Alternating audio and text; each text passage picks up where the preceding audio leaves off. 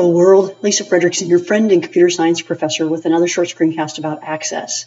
And this time we're going to continue our study of relationships by studying some relationships in some existing databases. And the easiest way to do that is, is to use the access templates. My favorite, of course, is the Northwind Traders database. It's kind of the Rosetta Stone for access developers because it's been around for so long, basically since Access 2.0, and it demonstrates almost everything that Access can do. So if you're going to study Access, use the Northwind Traders database. But you may have noticed there are several other templates available as well. And the templates that we've explored recently are at the top. When I click File New, I can search for them or I can go through these different categories and find different types of templates and I can start a database with one of these templates. Now, I've never had a client start their own database using one of these templates. However, they are helpful to see how other people have done things. Let's try vehicle maintenance. And as soon as you do that, you have to give it a name because, of course, we have to save our database locally before we can save data to it. I'm going to name it vehicle and put it in the documents folder and click create and let's see what we've got.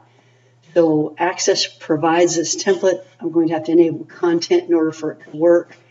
navigation pane has been hidden. I'm going to open that up and look at my object types. So I only have two tables in this database, so the relationships are going to be pretty simple.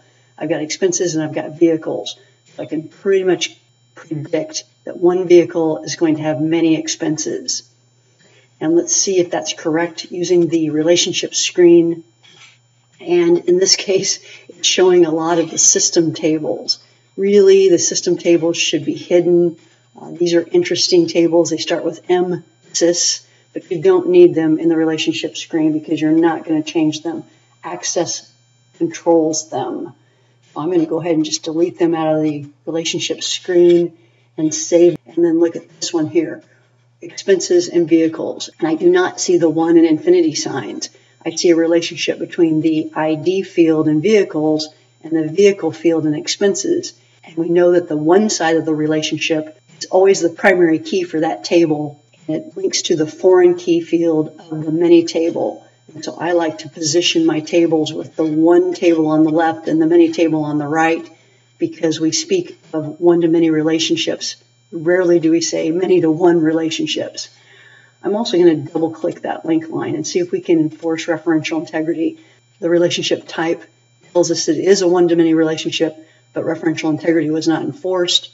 It says that we're using the ID field, which is the primary key field in the vehicles table, to link to the vehicle field in the expenses table.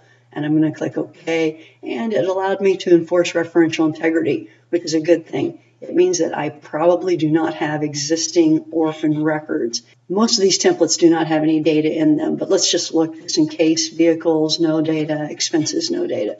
So that's why I was allowed to go ahead and enforce referential integrity. So this makes perfect sense. Two tables, one to many relationship. Thank you.